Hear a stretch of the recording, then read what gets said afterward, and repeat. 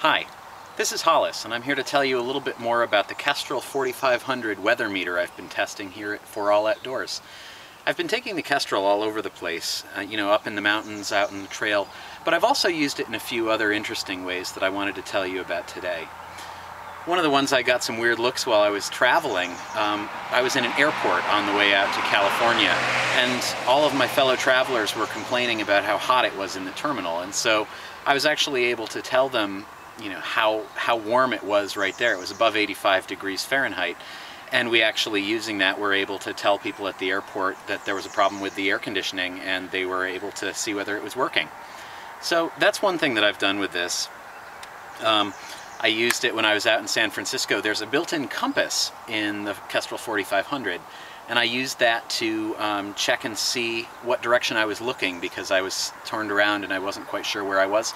I wasn't there for a hiking trip so I hadn't planned and brought a compass so it was a useful little thing to have for that. I've also used it um, in teaching contexts. I do a lot of training out in the community and making sure that my students are comfortable is a really important thing.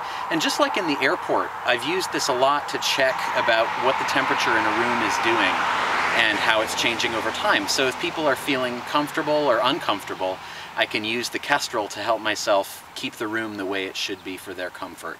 And that includes, you know, if we turn the air conditioning or the heater on, lets us tell how quickly everything is working. The last thing that I've used the Kestrel for recently is something that's a little bit unusual. When I'm not testing backpacking gear, I do something else that starts with B. I'm a professional bagpiper.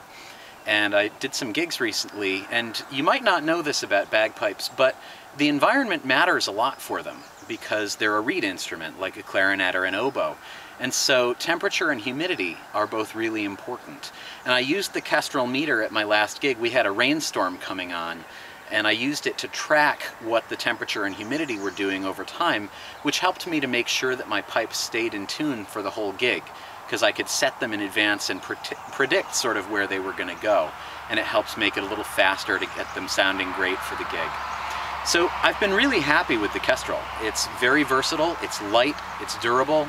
I pretty much carry it in my bag everywhere I go, and it's just when I'm going out on the trail, I switch which bag it goes in. Um, I really like them. They're very versatile. Totally recommend it. Thanks. This is Hollis for For All Outdoors.